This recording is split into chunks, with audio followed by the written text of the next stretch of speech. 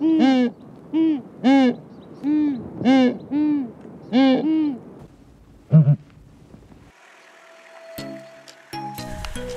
keep a lookout for any predators.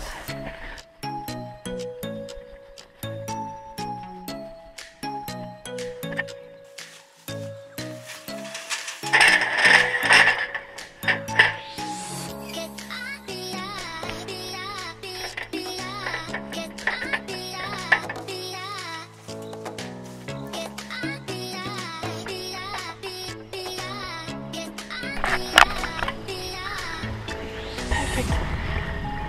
Two chicks. The second chick looks about two days old. First chick looks healthy.